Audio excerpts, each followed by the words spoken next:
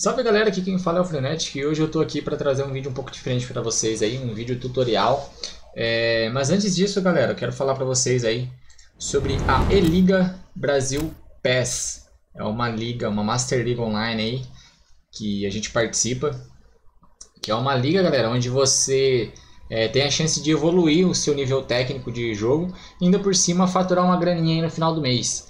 É, eu, inclusive, participo dessa liga, tem alguns alunos nossos que participam dessa liga. Então, se você tem interesse de participar dessa liga, é uma liga bastante é interessante. Você participa de negociação, compra jogadores por multa, empréstimo, troca aberta, ajuda salarial, enfim. É, é bastante legal. E você joga com jogadores que, inclusive, você pode usar essa tática que eu vou passar para vocês aqui. Você joga com jogadores normais, aqui você pode ver meu time. Aqui é o painel. É, então, se você tem interesse em participar dessa liga, inclusive tem a chance de jogar contra eu lá, é, chama aí no WhatsApp ou então chama o Tarcísio e, ou então o Carlos. É, os contatos deles vão estar na descrição desse vídeo aqui, então é só você procurar aí que você vai achar. É, continuando o vídeo aqui, galera. E vou estar ensinando para vocês aqui, galera, o tutorial, na verdade não é um tutorial, é uma tática que a maioria dos jogadores prós jogam no campeonato, inclusive eu uso ela para jogar os campeonatos. Então eu uso essa tática aqui do Bayern, é um dos times mais fortes do jogo. Para mim, eu acho que é o mais forte do jogo. Então eu vou estar tá mostrando para vocês aqui a tática. Vamos lá. Primeiro de tudo, galera, vocês vão colocar aqui um 4-3-3, que é a formação que eu uso, e vai posicionar 2 SA. Aqui o time já está praticamente montado, mas eu vou ensinar para vocês do começo como funciona. Você vai vir aqui nessa engrenagem vai vir aqui por habilidade. E aí o jogo, o jogo ele vai meio que mesclar e colocar um time mais ou menos como ele acha que é o mais forte. Então vamos começar primeiro pela, pela, pela, pelos jogadores. Eu uso o Kimmich aqui de volante e o Alaba. Na zaga eu uso Hernandes e Sully. E pela esquerda aqui eu uso o Davis. Depois eu vou explicar para vocês o porquê. Na direita o Pavar e de mate aqui eu uso o Sané. Aqui eu tô fazendo sem contar a seta, tá? Não tô olhando a seta. Ó. Então esse seria o time que eu usaria é, para jogar um campeonato. Tá, Frenético, mas o Gnabry não é PTD? Sim, mas eu prefiro ele de SA e depois eu vou explicar o porquê. E dois volantes, dois zagueiros, dois laterais. Vamos lá. Aqui nas instruções. Tudo que eu falar aqui, galera, isso aqui pode ser mudado, tá? Ah, Fred, como assim mudado? É, o PES ele deixou de ser um jogo, galera, onde você coloca 4-3-3 e só joga. Não. Isso aqui depende muito de como você está jogando, como seu adversário joga, é, como ele está atacando, como ele está defendendo. Tudo isso aqui pode ser mudado durante uma partida. Pode ser que você comece com uma tática e você mude ela totalmente com o decorrer da partida. Entendeu? Então tudo aqui não é uma regra. Ah, Frenético, eu sou obrigado a jogar assim? Não. Isso aqui é como eu jogo, como a galera joga e para vocês entenderem eu vou explicar o que cada coisa funciona para durante uma partida, quando você identificar isso, você conseguir mudar é, o estilo de jogo. Vamos lá, contra-ataque e posse de bola no ataque. Eu sempre começo contra-ataque, por quê?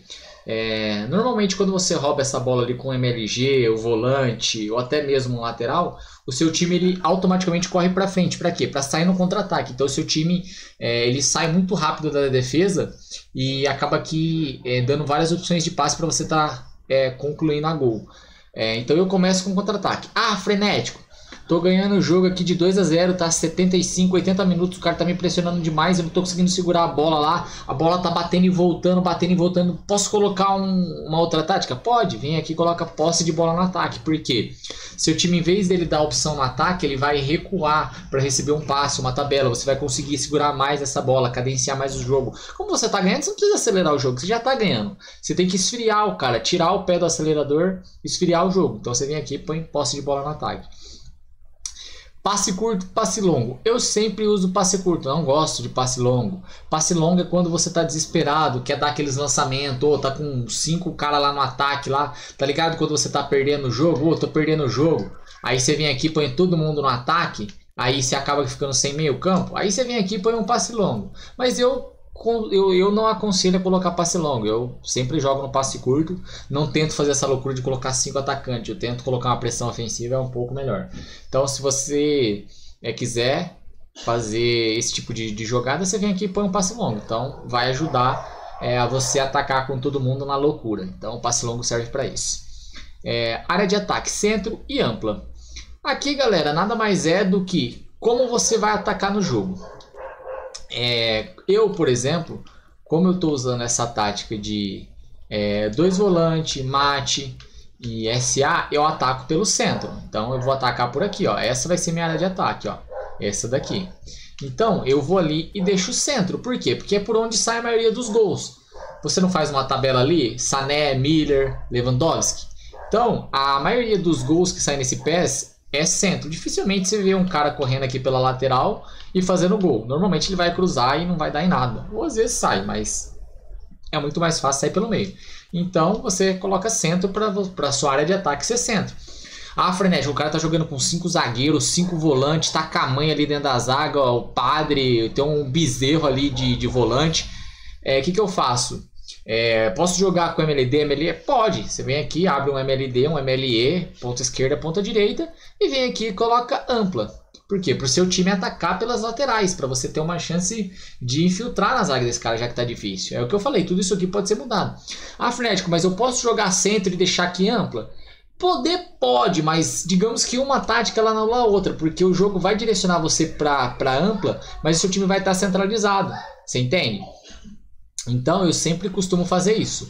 É, deixar as instruções conforme está meu time. Se meu time está com a tática no centro, eu ponho centro. Se ele está ampla, eu tô ampla. Então eu começo o centro. Se eu precisar abrir um ponta, um MLD, daí eu vim aqui e mudo para ampla, beleza? Manter formação e flexível. Isso aqui, cara, eu também não costumo mudar. Por quê? Eu deixo sempre manter formação. Por quê? Se eu tenho meu centroavante aqui, eu quero que ele seja centroavante. Eu não quero que ele caia para PTD, PTE, não quero que ele venha buscar bola. Eu quero que ele fique aqui. Para quando eu precisar dele, ele tá aqui. Porque você imagina, eu quero tocar no Lewandowski, tocar a bola aqui com o Miller, aí eu vou ver o Lewandowski tá aqui. É, como que eu vou tocar nele se ele tá aqui? Então, é, normalmente quando o jogador, quando a, isso aqui tá como flexível, o jogador ele tende a ficar alternando posições. Não é tão drasticamente como eu falei assim, mas atrapalha bastante. Então eu deixo sempre manter formação. Alcance de apoio. Quanto maior, mais seu time espalha, quanto menor, menos ele espalha. Então eu costumo deixar equilibrado aqui para ele não espalhar tanto, mas também não ficar tão juntinho. Então eu deixo no 4, mantenho o equilíbrio. Instruções defensivas. Isso aqui também tem um, uma paradinha aqui de combo. É, vamos lá. Eu costumo muito me referir pressão e retranca como dirigir carro, dirigir moto, na verdade.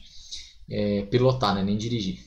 O que, que acontece? Quando você está lá na moto e você cai, você erra, é, automaticamente o para-choque da moto é sua testa. Então você caiu, você errou, já era. Mesma coisa que você está jogando retranca. Você está jogando retranca, tem cara que faz até isso aqui, ó, coloca os caras lá dentro do gol que não muda nada, tá? Só para avisar. É só no respawn isso aqui. Então você tá lá. Aí você desarmou o atacante dele ou roubou uma bola aqui. Quantas vezes você não tomou gol onde o atacante desarma esse zagueiro seu e toma gol? Por quê? Porque você tá jogando na retranca ali, tá todo mundo lá dentro, tá embolado, batendo cabeça. Então quando você erra aqui, é gol. Dificilmente o cara perde. Então você não tem a chance de se recuperar. Então por isso que eu não gosto na retranca. Eu sempre jogo na pressão na frente. Por quê? Meu time tá lá em cima, Ó, meu time tá lá em cima, tô marcando pressão lá na frente. Primeiro, se eu roubo essa bola aqui, a chance de eu fazer o gol é enorme, porque eu vou pegar a zaga do cara desprevenida. Segundo, quando eu pressiono o cara aqui em cima, eu faço com que ele erra mais vezes, porque ele tá pressionado, ninguém sabe jogar pressionado. Então a chance dele errar é melhor. Então eu tô pressionando ele, a galera não gosta de jogar sendo pressionada. É, quando você marca lá em cima, você não deixa o cara pensar, então ele não cria. E se eu acontecer de eu errar aqui, o que, que acontece? Eu tenho o Davis para correr atrás do cara, eu posso dar um carrinho com o Hernandes e não ser expulso, posso dar um carrinho e ser expulso, posso correr com o Hernandes e segurar quadrado para dar um jogo de corpo com o Sully. Então eu tenho inúmeras formas de recuperar essa bola.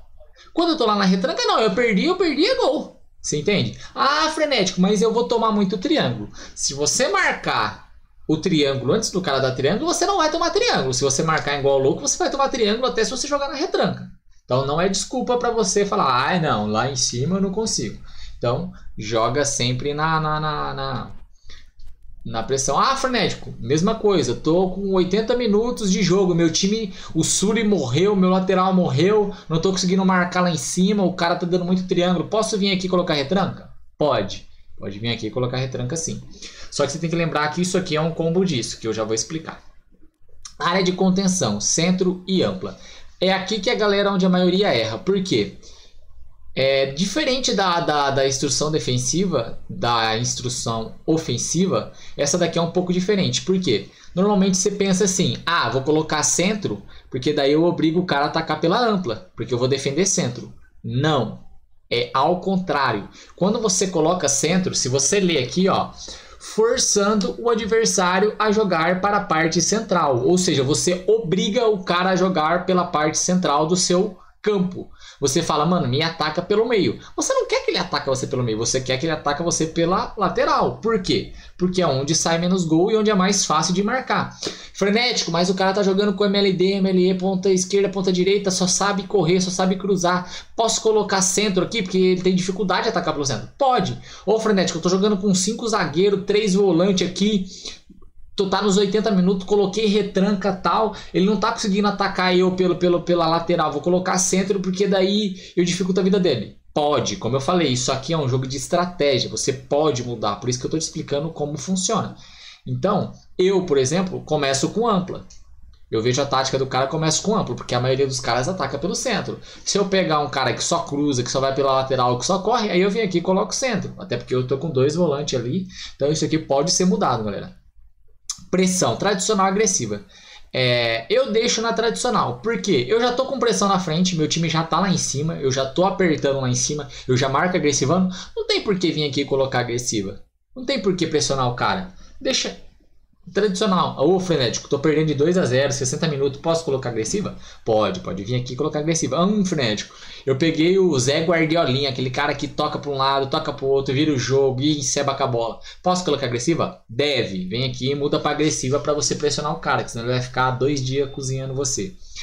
É, linha defensiva é aquilo que eu falei. Não adianta você colocar retranca e a linha no 10. E não adianta você colocar pressão e colocar a linha no 2.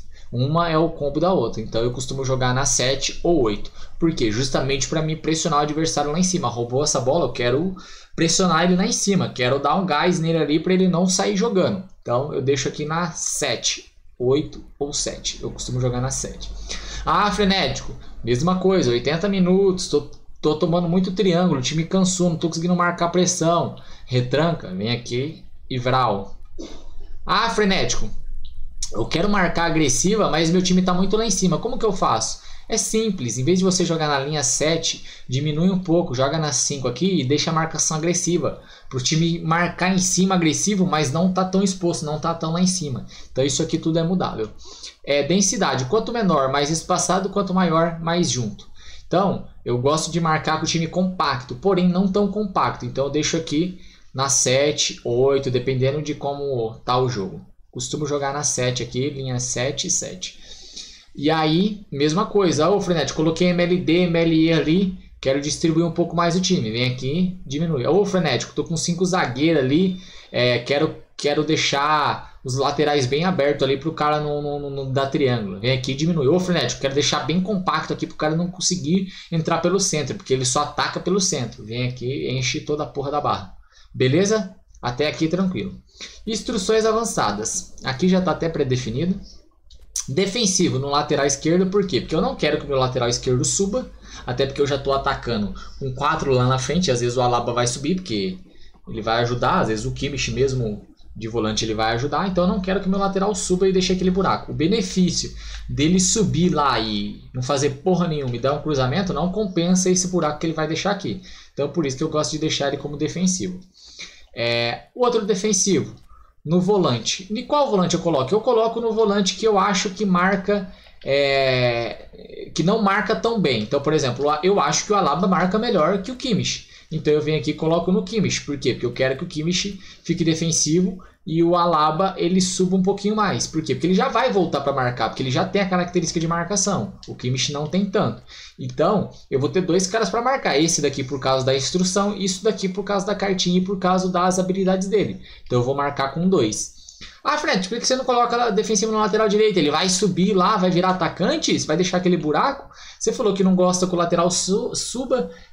Porém, o Pavard ele é zagueiro defensivo. Essa cartinha faz com que ele não suba. Ele não vai subir. Ele vai ficar sempre aqui. Ó. Ele nunca vai passar do meio de campo. Então, por isso que eu não coloco defensivo nele. Pivô de contra-ataque, sempre no Lewandowski. O segundo pivô de contra-ataque você tem que ter em mente é, como que você vai jogar. Eu, por exemplo, no segundo tempo, esses jogadores aqui do ataque morrem, exceto o Leva. Então quem que eu vou querer trocar? O Gnabry. Eu tenho alguém para colocar no Gnabry? No lugar do Gnabry? Tem. Tem o Douglas Costa, tem o Como, tem até o Chupo Montinho. Então eu tenho, é, digamos que, uma peça de reposição para o Gnabry. Eu tenho uma peça de reposição para o Miller? Tenho. Dá para colocar um Coman aqui, o Chupo Montinho, até o Douglas Costa. Porém, eu não tenho uma peça tão boa aqui de mate. Eu posso improvisar um Goretzka, eu posso improvisar um Tolisso, mas improvisado, eu não tenho mate. Então o que, que eu faço? Eu coloco o pivô de contra-ataque no Miller porque eu não quero que ele canse. No segundo tempo, ele passa a ser mate, porque ele tem um bom passe. Tá vendo? Passe 86, porque ele é bom, ele consegue proteger, ele é, tem um corpo forte, ninguém rouba a bola dele. E no segundo tempo eu posso colocar um Coma, um Chupa Montinho, ou até mesmo tirar esse cara e colocar mais um MLG aqui, ó, e fazer um losango. Transformar essa tática na tática do Fischer. Vim aqui colocar um Goretzka, por exemplo. Então, por isso que eu coloco o pivô de contra-ataque no Miller. Então, galera, tudo isso aqui, como eu falei para vocês, dá para mudar. Então, o jogo ele deixou de ser um jogo onde você só aperta botão. Isso aqui é estratégia. Então, eu costumo jogar desse jeito que eu falei para vocês. É, aí, vai de cada um. Às vezes você vai falar, ah, que eu prefiro mais o Boateng aqui no lugar do Davis. Ah, que eu prefiro o Goretzka no lugar do, do, do Sané. Isso aí, cara, não tem problema. Você pode mudar. Até porque tem jogadores que eu acho melhor e tem jogadores que você acha melhor. Porém, essas táticas são muito boas. Então, esse vídeo vai ficando por aqui. É, muito obrigado pela, pela interação de vocês aí. Se vocês puderem deixar o like, compartilhe o vídeo com os amigos, comentem aqui embaixo, é muito importante que vocês comentem o que você achou desse vídeo e comentem também quais tutoriais ou quais times e quais táticas vocês querem que eu traga.